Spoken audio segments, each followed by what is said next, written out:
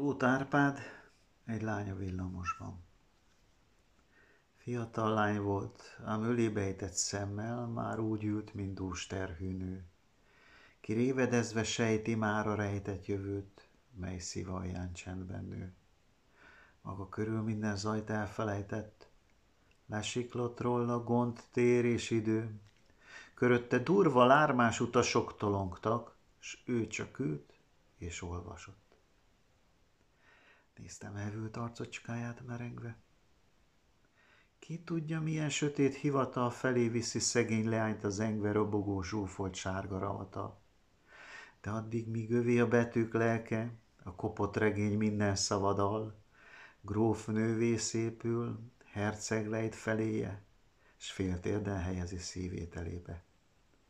S megáldottam magamban ócska könyvét, ó, mely lehet akár mély ponyva bár, letörli egy sorsocska árva könnyét, s a vadvilág többé nem oly sivár.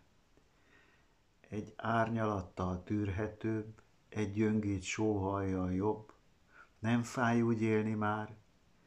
Egy rossz író is így érhet föl tisztelt rendű és rangú 36 minisztert.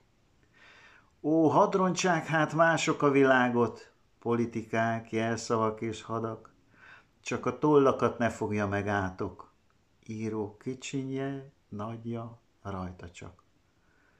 Isten szívét nem bízta csak tirátok, és míg ég és föld bús rommá omlanak, hű könyveinkben daloljon a lélek vigaszos dacsal, mégis szép az élet.